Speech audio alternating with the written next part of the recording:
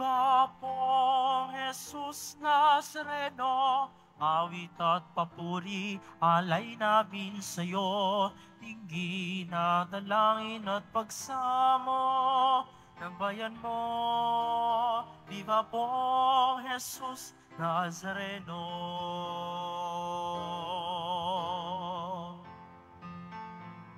Ako ang muling pagkabuhay, wika ng Panginoon, ang sino mang manalig sa akin ay mabubuhay kailanman. Viva po, Jesus Nazareno, awit at papuri, alay namin sa'yo tingin ang dalangin at pagsamo ng bayan mo. Viva pong Jesus Nazareno.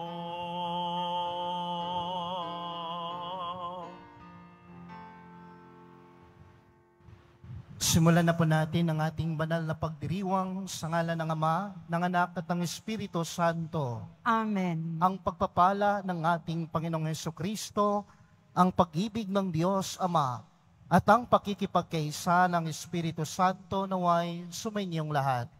At sumaiyo rin. Mga kapatid, upang maging marapat tayong gumanap sa banal na pagdiriwang na ito, ay aminin na natin ang ating mga nagawang pagkakasala, ang ating mga kasalanan na dala ng ating kahinaan. Inaamin ko sa makapangyarihang Diyos At sa inyo, mga kapatid, nalubha akong nagkasala sa isip, sa salita at sa gawa, at sa aking pagkukulang, kaya isinasamo ko sa mahal na Birheng Maria, sa lahat ng mga anghel at mga banal, at sa inyo, mga kapatid, na ako'y ipanalangin sa Panginoong ating Diyos. kaawaan tayo ng makapangyarihang Diyos. Patawarin tayo sa ating mga kasalanan at patnubayan tayo sa buhay na walang hanggan. Amen. Panginoon, kaawaan mo kami. Panginoon, kaawaan mo kami. Kristo, kaawaan mo kami. Kristo, kaawaan mo kami. Panginoon, kaawaan mo kami. Panginoon, kaawaan mo kami. Manalangin tayo. Ama naming makapangyarihan, binuksan mo para sa amin ang pinto ng kalangitan. Sa pagluklok mo kay Kristo sa iyong kanan at sa pagdudulot ng Espiritu Santo ng kaliwanagan, ipagkaloob mong sa pagsasalo namin sa iyong bigay. Ang aming katapatan ay lalong madagdagan at kami ay sumapit sa kapupunan ng pananalig na tunay sa pamamagitan ng Heso Kristo kasama ng Espiritu Santo magpa sa walang hanggan. Amen. Magsiupo ang lahat. Pagbasa mula sa mga gawa ng mga apostol. Noong mga araw na iyon, dumating sa Caesarea si Haring Agripa at si Berenice upang bumati kay Festo. Nang matagal-tagal na sila roon, inilahad ni Festo sa hari ang tungkol kay Pablo. Si Felix ay mainiwan ditong isang bilanggo. Wika niya, Nang ako'y nasa Jerusalem, isinakdal siya sa akin ng mga punong saserdote at ng matatandang mga Hudyo at hininging parusahan siya. Sinagot ko sila na hindi ugali ng mga Romano ang magparusa sa sinumang nasasakdal nang hindi muna nagkakaharap ang magkabilang panig at nagkakaroon ng pagkakataong mga pagtanggol sa sarili ang nasasakdal. Kaya't nang dumating sila rito, hindi na ako nag-aksaya ng panahon. Kinabukasan din, ipinatawag ko sila sa hukuman ang taong iyon. Nang magkaharap-harap sila, siya naman hindi nila ipinagsakdal sa anumang mabigat na pagkakasala na inaakala kong ipararatang nila. Ang pinagtatalunan lang nila ay tungkol sa kanilang reliyon at sa isang taong ang pangalang Jesus. patay na ang taong ito. Ngunit ipinipilit naman ni Pablo na siya'y buhay. Hindi ko malaman kung ano ang gagawin sa bagay na ito. Kaya tinanong ko siya kung ibig niyang sa Jerusalem siya'y litisin. Upang tumut ngunit tumutol si Pablo at hiniling na ipa- ipaubaya sa emperador ang pagpapasya sa kanyang usapin. Kaya't pinabantayan ko siya upang ipadala sa emperador ang salita ng Diyos. Salamat sa Diyos.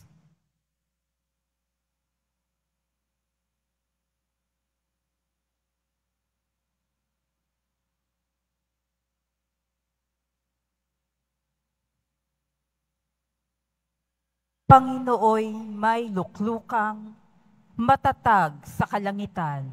Panginooy may luklukan, matatag sa kalangitan.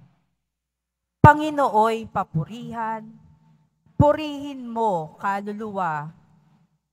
Ang pangalan niyang banal, purihin mo sa tuwina. Ikaw aking kaluluwa, ang Diyos ay papurihan, at huwag mong lilimutin yaong kanyang kabutihan. Panginooy may luklukang, matatag sa kalangitan. Ang agwat ng lupa't langit, sukatin may hindi kaya. Gayon ang pag-ibig ng Diyos sa may takot sa Kanya. Ang silangan at kanluran, kung gaano ang distansya.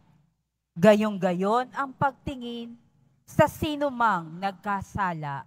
Panginooy may luklukang, matatag sa kalangitan. Ang puon nga ang nagtayo ng trono sa kalangitan. Mula doon sa nilikhay, magaharing walang hanggan. O purihin ninyo siya, kayong mga anghel ng Diyos, kayong mga nakikinig at sa Kanya'y sumusunod. Panginooy may luklukang, matatag sa kalangitan. Magsitayo po ang lahat.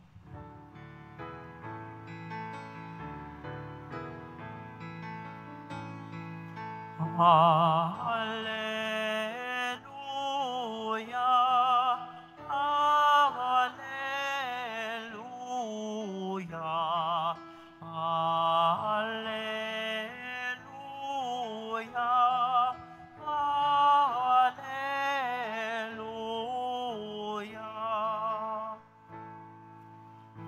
Espiritu'y magtuturo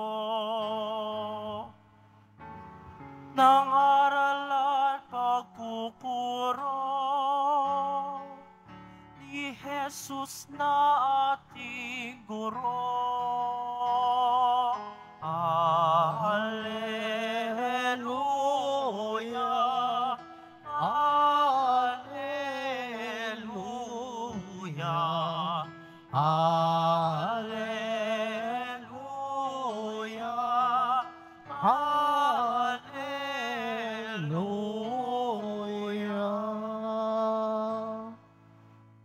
Sumainyo ang Panginoon.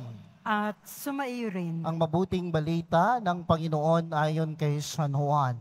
papuri sa iyo, Panginoon.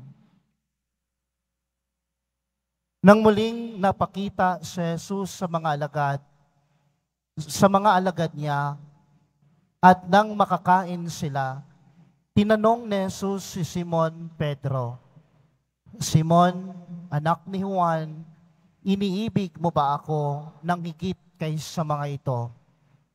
Opo, Panginoon, nalalaman ninyong iniibig ko kayo. Tugon niya, Sinabi sa kanya ni Jesus, pakanin mo ang aking mga batang tupa. Muli siyang tinanong ni Jesus, Simon, anak ni Juan, iniibig mo ba ako? Sumagot si Pedro, Opo, Panginoon, nalalaman ninyong iniibig ko kayo. Ani Jesus, pangalagaan mo ang aking mga tupa. Pangatlong ulit na tinanong siya ni Jesus, Simon, anak ni Juan, iniibig mo ba ako? Nalungkot si Pedro sapagkat maikatlo siyang tinanong, iniibig mo ba ako? At sumagot siya, Panginoon, nalalaman po ninyo ang lahat ng bagay. Nalalaman ninyong iniibig ko kayo. Sinabi sa kanya ni Jesus, pakanin mo ang aking mga tupa. Tandaan mo, noong kabataan mo pa, ikaw ang nagbibihis sa iyong sarili at lumalakad ka kung saan mo ibig. Ngunit pagtanda mo, iuunat mo ang iyong mga kamay at iba ang magbibihis sa iyo at dadalhin ka kung saan hindi mo ibig. Sinabi niya ito upang ipaalala kung paano mamamatay si Pedro at sa gayoy mapararangalan niya ang Diyos. Pagkatapos sinabi sa kanya ni Jesus, Sumunod ka sa akin. Mga kapatid, ang mabuting balita ng Panginoon. Pinupuri ka namin, Panginoong Heso Kristo. Magsiupo ang lahat. Magandang umaga po sa inyong lahat. Mga kapatid, ay halos patapos na po tayo sa ating mga ibanghelyo at pagninilay sa muling pagkabuhay. At ngayon ngang linggo ay ating ipinagdiriwang ang linggo ng Pentecostes na kung saan ang pangako ng Diyos ay kanyang tinupad sa kanyang mga apostoles, sa kanyang mga alagad, na magpapadala siya ng Espiritu Santo upang sa kanila ay gumabay. Napakaganda po ng ating gospel ngayon. Kung atin itong napakinggan ng mabuti at napagnilayan ng mabuti ang ating ebanghelyo. While I was reflecting the gospel, isa lang yung nasasabi ko. Yung sinabi ko sa sarili ko, napakabait ng Diyos, napakaganda ang nilalaman ng kanyang kalooban sapagkat hindi nagbabago ang pakikitungo ng Diyos sa kanyang mga apostoles at sa kanyang mga alagad. Hindi nagbago ang pagtingin ng Diyos sa kanyang pakikipagrelasyon sa kanyang mga alagad, sa kanyang mga apostoles. At sa gayon, ganun din sa buhay natin. Ang Diyos ay hindi, nakik- na, hindi nagbabago ang kanyang pakikitungo sa atin, ang kanyang pagmamahal sa atin, ang kanyang awa sa atin. Hindi yan nagbabago. Tayo lang ang nagbabago sa pagmamahal at pakikitungo natin sa Diyos. Mga kapatid, bakit ko po yan nasabi na hindi nagbabago ang pagmamahal at pakikitungo at pakikipagrelasyon ng Diyos sa kaniyang mga apostoles at sa kaniyang mga alagad.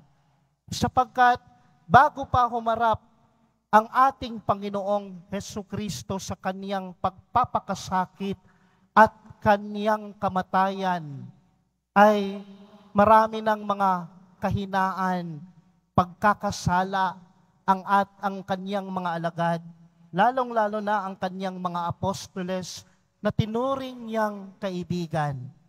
Papansinin natin, si Pedro, he denied Jesus when someone asked Peter, di ba kasama ka ng taong iyan? Ano ang sagot ni Pedro? Hindi ko kilala yan. Hindi ko kasama yan. Hindi ko kaibigan yan. Tatlong beses niyang hindi kinilala ang ating Panginoon.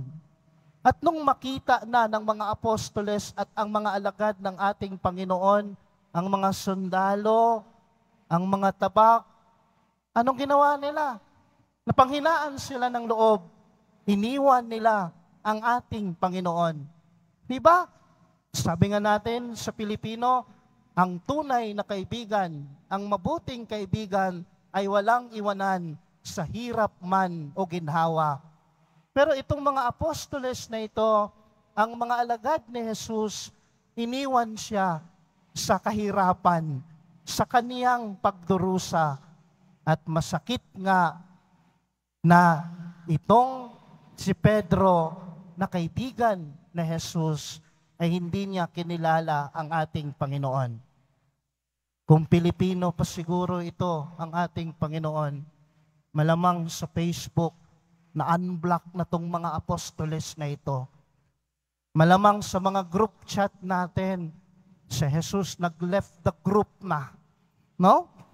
Malamang hindi niyo na, niya pinapansin ang kanyang mga kaibigan.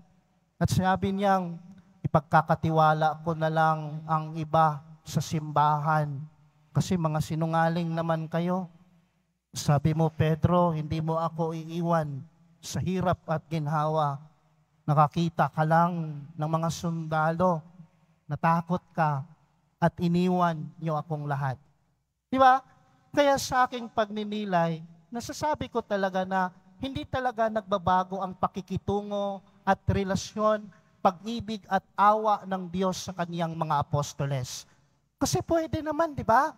Pwede naman na sabihin ng ating Panginoon, babalik ako, muling mabuhay, ngunit hindi na ako babalik sa aking mga alagad. Ipagkakatiwala ko na lang ang iba sa simbahan. Si Pedro, na naging unang santo papa ng simbahan, magsiselect na lang ako ng iba. Yung hindi ako iiwan dahil pinanindigan ninyo at nakita ko na nainiwan niyo ako. Pero iba ang plano ng Diyos. Bumalik ang ating Panginoon sa kanyang mga apostoles at hindi nagbago ang kanyang pakikitungo. Sa halip, sinabihan pa niya si Pedro sa ating ebanghelyo, Pedro, iniibig mo ba ako? Pedro, Peter, do you love me? Peter, do you love me? And that is the equivalent on how Peter denied Jesus in three times. At gayon din, tinanong din si Pedro ng ating Panginoon, makatlong beses kung iniibig niya ba ang ating Panginoon. Sa buhay natin, dapat tayong magpasalamat sa ating Panginoon, ang ating mahal na pong Jesus Nazareno, sapagkat tayo din sa buhay natin, meron din tayong kahinaan na kung saan maraming beses tayong humiwalay sa awa at pagmamahal ng Diyos. Maraming beses din tayong humiwalay sa simbahan. May mga iilan siguro sa inyo dito na ngayon lang bumalik nagsimba. May mga iilan siguro sa inyo dito ngayon lang nakabalik sa awa at pagmamahal ng Diyos. Pero sa mga araw na iyon, maraming beses sa buhay natin na nakakalimutan natin ang Diyos. Ngayon ang tanong, nagbago ba ang pakikitungo ng Diyos sa inyo? Nagbago ba ang pag-ibig ng Diyos sa inyo?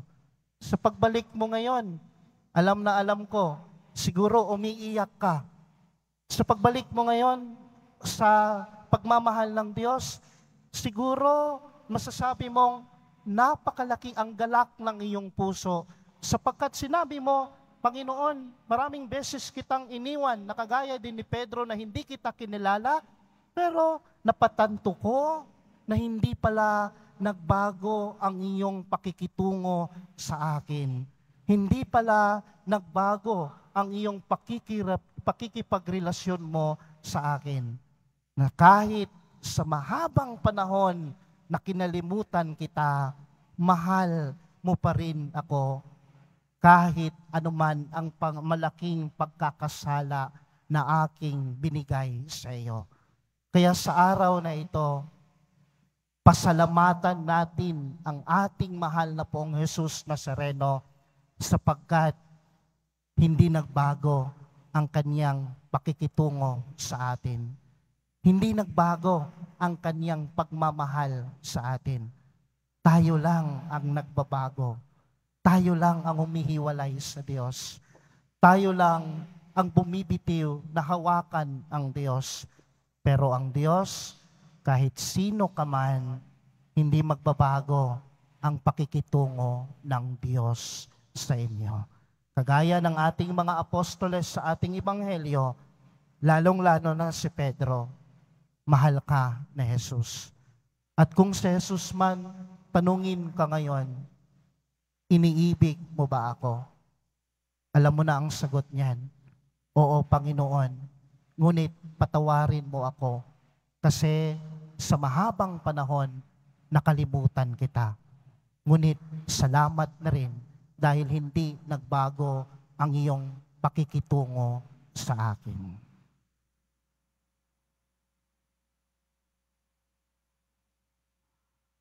Magsitayo po ang lahat. Pagpatuloy natin ang ating banal na misa sa panalangin ng bayan. Minamahal kong mga kapatid, bunga ng pagkaunawang isunugo tayo sa misyong, katulad ng kay San Pedro, hilingin natin sa Diyos Ama na palakasin ang ating pananampalataya at pananalig. Sa bawat panalangin, ang ating itutugon, Ama, pagpalain mo ang iyong kawan. Ama, pagpalain mo ang iyong kawan.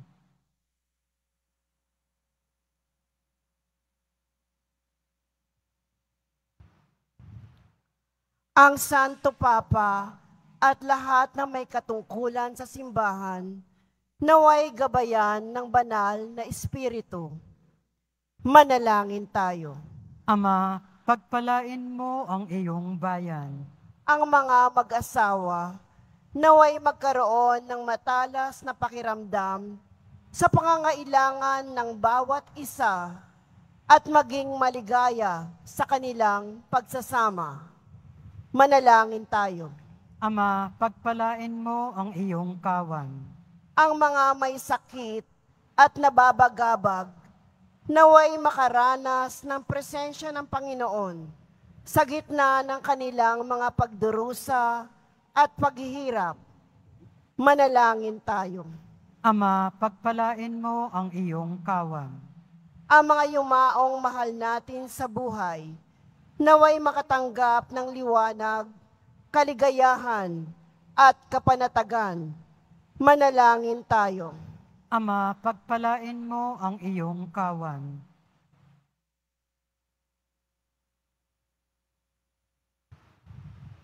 Amang na, ama naming nasa langit, isugo mo ang iyong anak upang iligtas ang mundo sa pamamagitan ng gawain ng iyong simbahan. Palakasin nawa ang aming loob ng halimbawa ni San Pedro upang magsikap kami para sa pagpapalaganap ng iyong kaharian sa lupa. Hinihiling namin ito sa pamamagitan ni Kristo na aming Panginoon. Amen. Magsiupo ang lahat.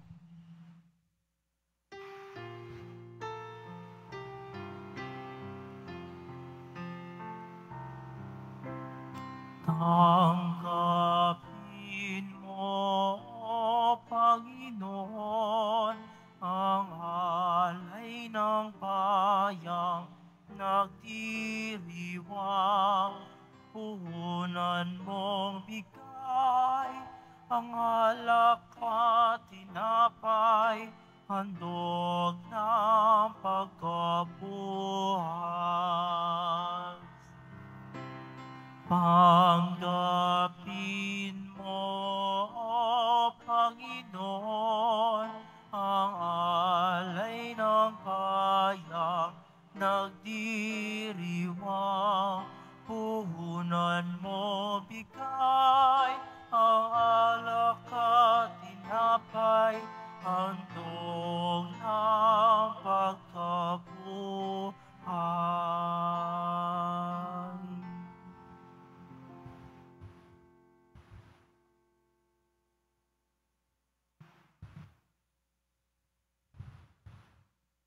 Magsitayo po ang lahat.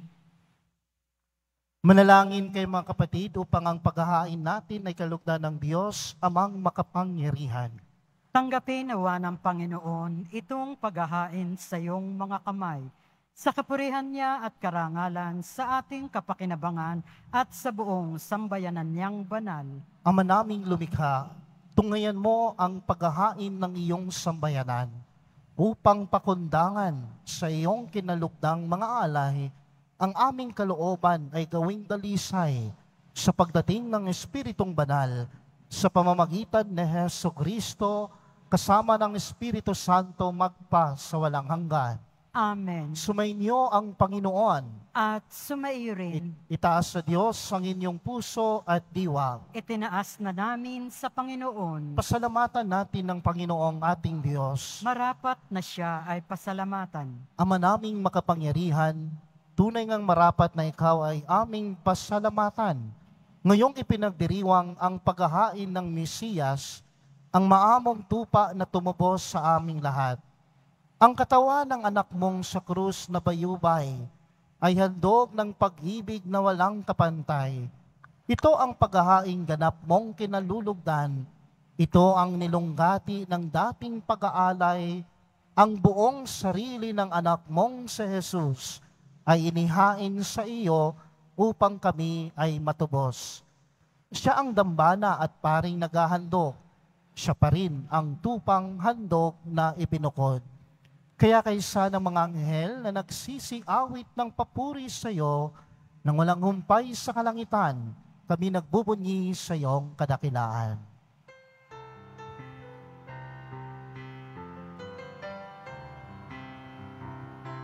Santo, Santo, Santo, Panginoong Diyos ng mga upo, napupuno ang langit at lupa ng kadakilaan mo. O sana, o sana, sa kaitaasan, o sana, o sana, sa kaitaasan, pinagpalang na paririto sa ngalan ng Panginoon. O sana, o sana, sa kaitaasan, o sana, o sana, sa kaitaasan. Magsiluhod po ang lahat. Ama naming banal, ikaw ang bukal ng tanang kabanalan, kaya't sa pamamagitan ng iyong Espiritu, gawin mong banal ang kaloob na ito, upang para sa amin maging katawan at dugo ng aming Panginoong Heso Kristo. Bago niya pinagtiis ang kusang loob na maging handog, hinawakan niya ang tinapay, pinasalamatan kanya. Pinaghati-hati niya yon, iniabot sa kaniyang mga alagad at sinabi, Tanggapin ninyong lahat ito at kanin. Ito ang aking katawan na iahandog para sa inyo.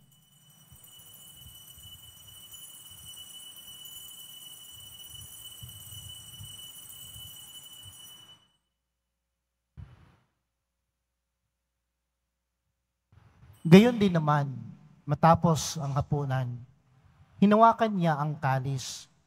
Muli kanyang pinasalamatan. Iniabot niya ang kalis sa kaniyang mga alagad at sinabi, Tanggapin ninyong lahat ito at inumin. Ito ang kalis ng aking dugo, ng bago at walang hanggang tipan. Ang aking dugo na ibubuhos para sa inyo at para sa lahat sa ikapagpapatawad ng mga kasalanan. Gawin ninyo ito sa pag-alala sa akin.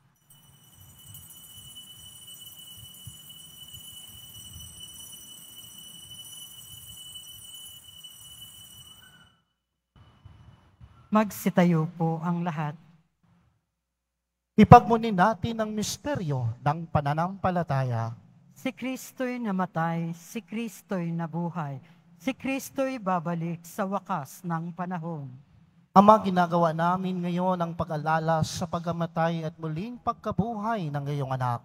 Kaya't iniaalay namin sa iyo ang tinapay na nagbibigay buhay at ang kalis na nagkakaloob ng kaligtasan. Kami nagpapasalamat dahil kami ay iyong minarapat na tumayo sa harap mo para maglingkod sa iyo. Isinasamo namin kaming magsasalo-salo sa katawan at dugo ni Kristo ay mabuklod sa pagkakaisa sa pamamagitan ng Espiritu Santo. Amalingapin mo ang iyong simbahang laganap sa buong daigdig. Puspusin mo kami sa pag-ibig kay isa ni Francisco ang aming Santo Papa at ni Jose na aming Arsobispo at ng Tanang Kaparian. Alalahanin mo rin ang mga kapatid naming nahimlay ng may pag-asang sila ay muling mabubuhay. Gayon din ang lahat ng mga pumanaw. Kaawaan mo sila at patuloyin sa iyong kaliwanagan. Kaawaan mo at pagindapatin kaming lahat na makasalo sa iyong buhay na walang wakas. Kaisa ng mahal na Bereng Maria na ina ng Diyos, ng kabiyak ng puso niyang si San Jose kaysa ng mga apostol ni San Juan Bautista at ng lahat ng mga banal na namuhay dito sa daigdig ng kalugod-lugod sa iyo. May pagdiwang nawa namin ang pagpupuri sa ikararangal mo sa pamamagitan ng iyong anak na aming Panginoong Heso Kristo. Sa pamamagitan ni Kristo kasama niya at sa Kanya, ang lahat ng parangal, at papuri ay sa iyo, Diyos, amang makapangyarihan, kasama ng Espiritu Santo magpa sa walang hanggan.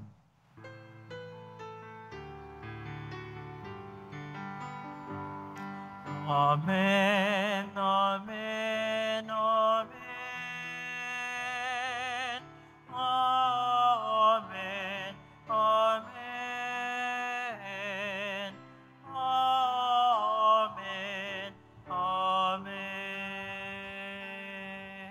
Sa tagubilin ng mga nakagagaling na utos sa turo ni Jesus na Panginoon natin at Diyos, ipahayag natin ng lakas loob.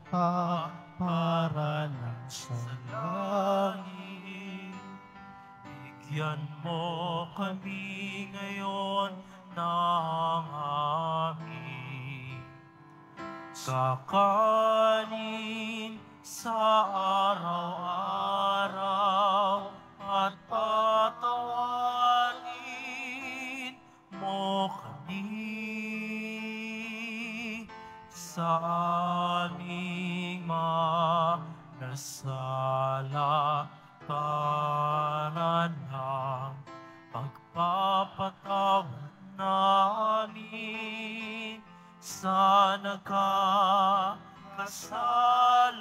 sa amin. At huwag mo kami ipahintulot sa tukso at yadya mo kami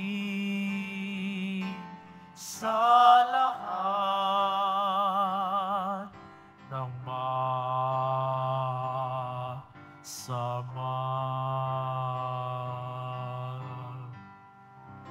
Hinihiling namin kami, Diyas, sa lahat ng masama, pagkalooban ng kapayapaan araw-araw, iligtas sa kasalanan at ilayo sa lahat ng kapahamakan, samantalang aming pinananabikan ang dakilang araw ng pagpapahayag ng tagapagligtas naming sa Heso Kristo. sapagkat iyo ang kaharian at ang kapangyarihan at ang kapurihan magpakailanman. Amen. Panginoong Heso Kristo, sinabi mo sa iyong mga apostol, kapayapaan ang iniiwan ko sa inyo, ang aking kapayapaan ang binibigay ko sa inyo. Tungayan mo ang aming pananampalataya at huwag ang aming mga pagkakasala. Pagkalooban mo kami ng kapayapaan at pagkakaisa ayon sa iyong kalooban kasama ng Espiritu Santo magpa sa walang hanggan. Amen. Ang kapayapaan ng Panginoon ay laging sumainyong lahat. At sumaiyo rin. Magbigayan po tayo ngayon ng kapayapaan sa isa't isa.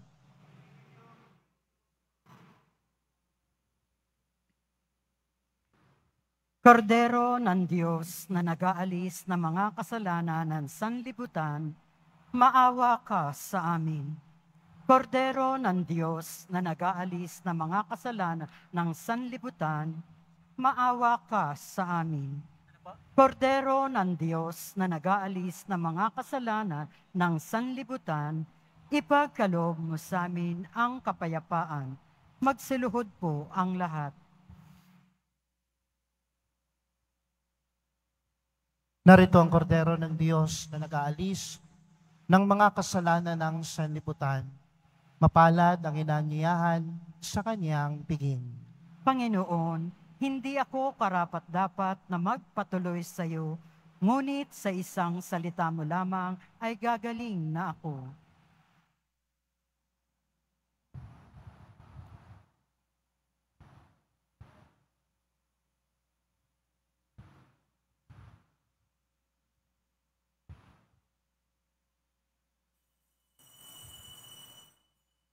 Para sa lahat ng tatanggap ng banal na komunyon, sasagot po tayo ng amen pagkasabi ng pare o lay minister ng katawan ni Kristo at isubo agad sa bibig bago umalis sa harapan ng pare o lay minister. Sumunod po tayo.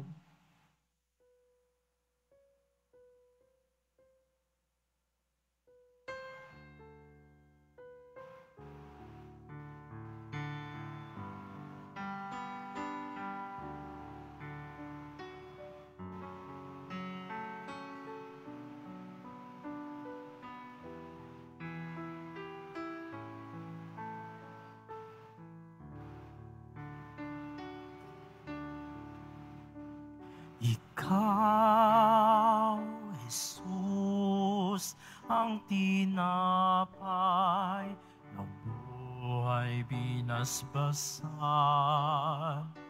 Hinatit, inialay.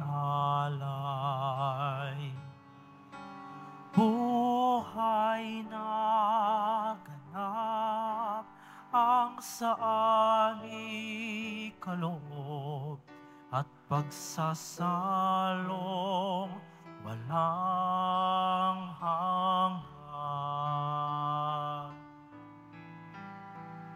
Basbasan ang buhay namin, ano naway matulad sa pag-aalay mo. Buhay na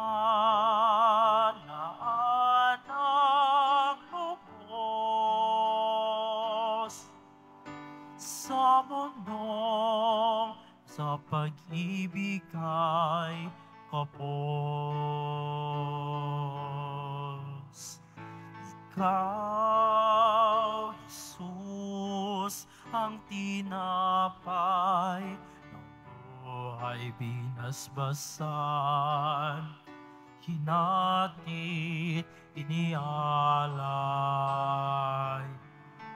Buhay na ganap ang sa aming kaloob at pagsasalong walang hanggan. Atin sa kapwa maging tinapay kagalakan sa nalulumbang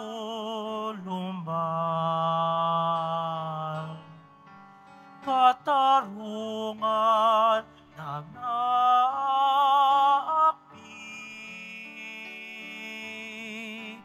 at kadlungan ng bayan mo sawi. Ikaw,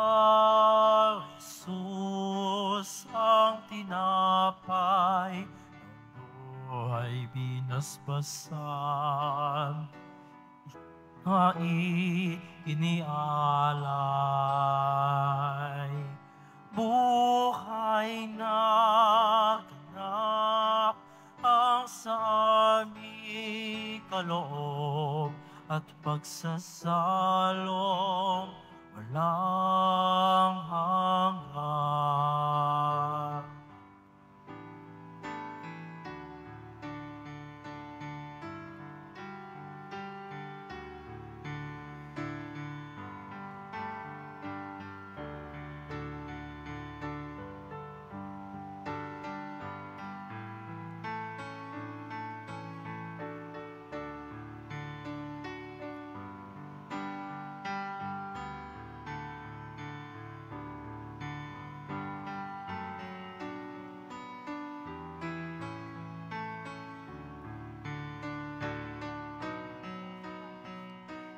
Ikaw,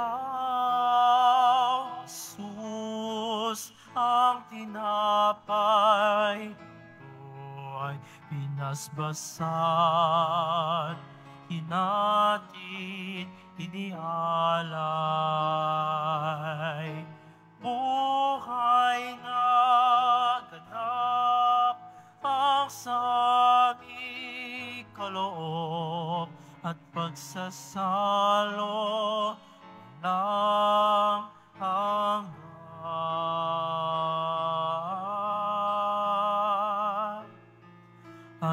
at pagsasalo ng hanggan.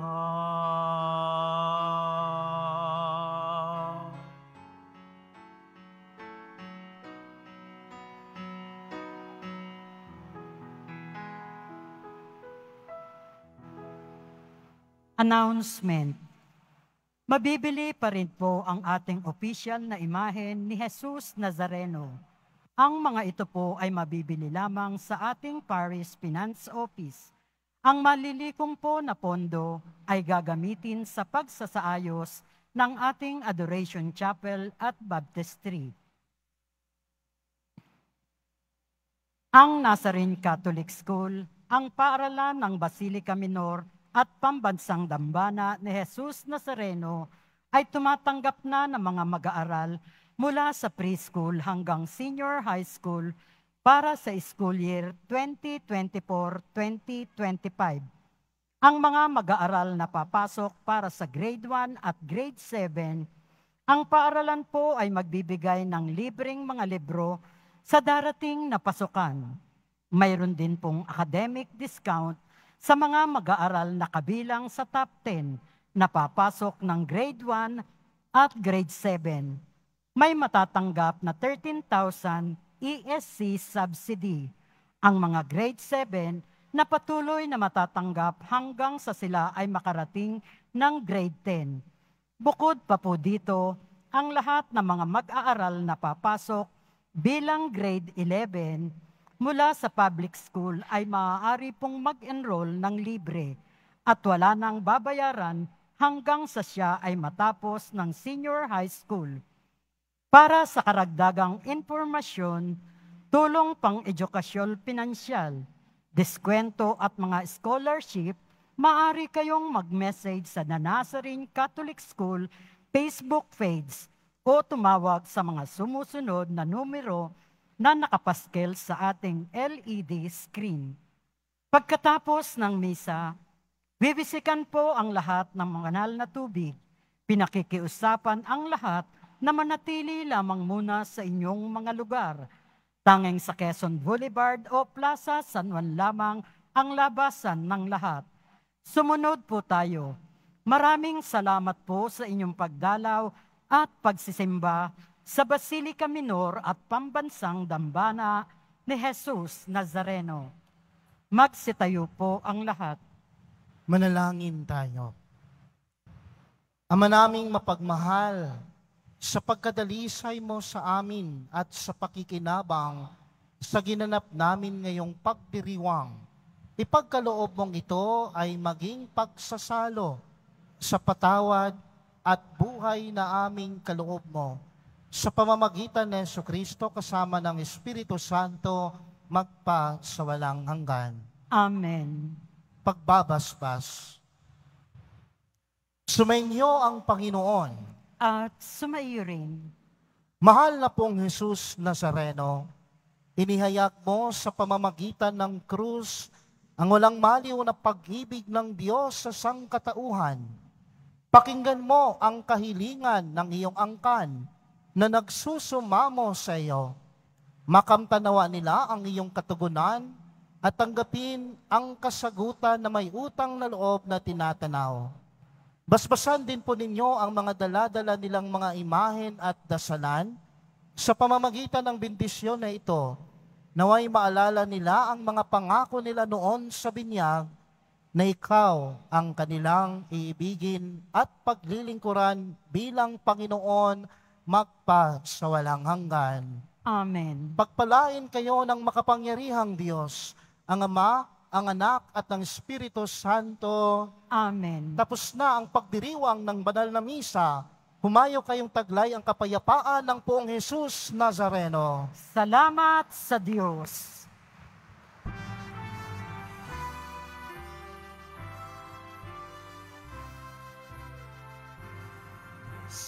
Padre Jesus Nazareno, sinasamba ka namin.